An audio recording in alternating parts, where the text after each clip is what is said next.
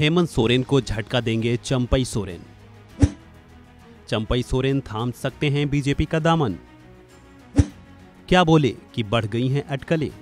इस साल के अंत तक कई राज्यों में विधानसभा चुनाव होने हैं, जिसमें झारखंड भी शामिल है। अगले छह महीनों में ही महाराष्ट्र, हरियाणा और झारखंड विधानसभाओं के कार्यकाल समाप्त हो रहे हैं। महाराष्ट्र और हरियाणा विधानसभा का कार्यकाल नवंबर में तो झारखंड का जनवरी में समाप्त हो रहा है। नज़दीक आते चुनावी समय के साथ साथ सियासी हलचल भी तेज़ी पकड़ने लगी है और दल बदल की अटकलें भी तेज होने लगी हैं।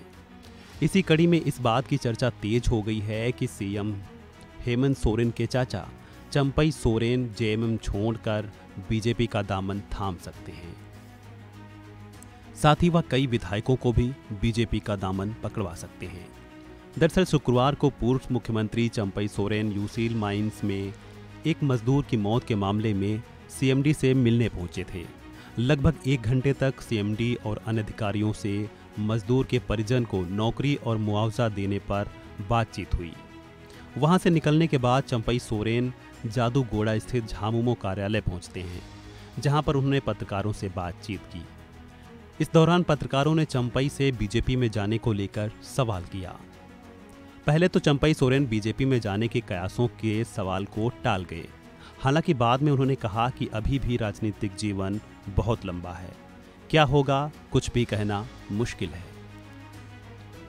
उनके साथ ही लोबिन हेम्ब्रम के दिल्ली होने के सवाल पर चंपई सोरेन ने बयान दिया कि देखिए, मैं तो आपके सामने हूँ। लोबिन पर कुछ भी बोलने से हालाँकि उन्होंने इनकार कर दिया। चंपई के बीजेपी में शामिल होने के सवाल को स्पष्ट रूप से खारिज नहीं करने को भी कई मायने निकाले जा रहे हैं और कहा जा रहा है कि वह बीजेपी का दामन थाम सकते हैं। इन बातों को चंपई के एक और कदम ने और सीरियस कर दिया है, जो कि है स्वतंत्रता दिवस के अवसर पर सराय केला में। जब उन्होंने भाषण दिया था तो भाषण में मुख्यमंत्री हेमंत सोरेन का नाम का ज़िक्र ही नहीं था, जिसको लेकर भी चर्चा का बाज़ार गर्म है। साथ ही स्थानीय लोगों के साथ ही झामुमो नेताओं ने भी कहा है कि चंपई सोरेन के भाषण में मुख्यमंत्री हेमंत सोरेन का नाम नहीं लेना एक सामान्य बात नहीं हो सकती है। चंपई सोरेन को लेकर अटकलों की वजह भी है।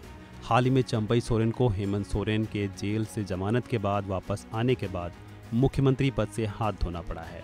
सीएम की कुर्सी अपने हाथ में लेने के बाद हेमंत सोरेन ने चंपई को कैबिनेट में जगह दी है। लेकिन कहा जा रहा है कि वह इस चीज़ से खुश नहीं है। वहीं सीएम पद से हटाए जाने के बाद कई मौक़ों पर बीजेपी के सीनियर नेताओं ने चंपई सोरेन की तारीफ़ भी की है। विधानसभा के मानसून सत्र में भी बीजेपी नेताओं ने सदन के भीतर उनकी प्रशंसा की थी।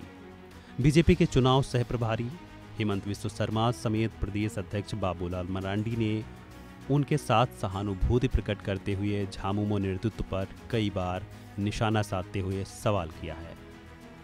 बता दें कि अगर ऐसा होता है तो यह नई बात नहीं होगी। लोकसभा चुनाव से ठीक पहले सीता सोरेन ने भी बीजेपी में शामिल होकर झामुमो को बड़ा झटका दिया था। बीजेपी ने उन्हें दुमका से घोषित प्रत्याशी सुनील सोरेन को हटाकर चुनावी मैदान में उतारा था। हालाँकि उन्हें जीत नहीं मिल पाई थी।